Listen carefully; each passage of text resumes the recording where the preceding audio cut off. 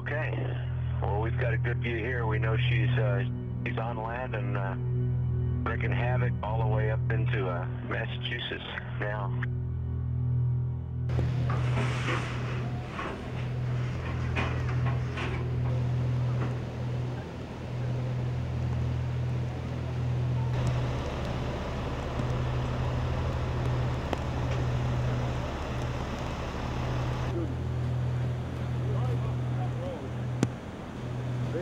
Had one 28, could take a tank.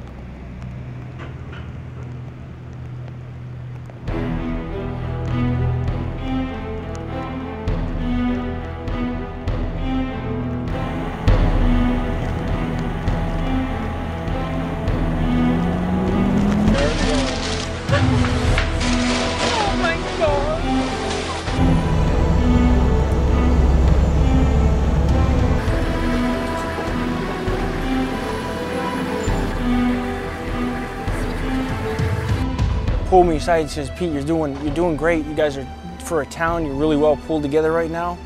Here are my suggestions. You know, get this, do this and that. And uh, we don't have that experience. You guys, you guys know how to mobilize. We don't, we don't mobilize like this real often.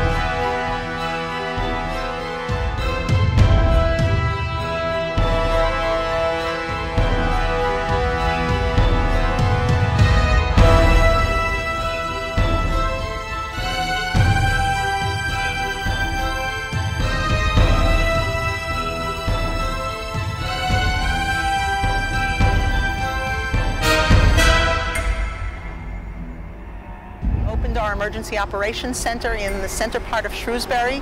We also opened up the shelter down here closer there. We had two shelters open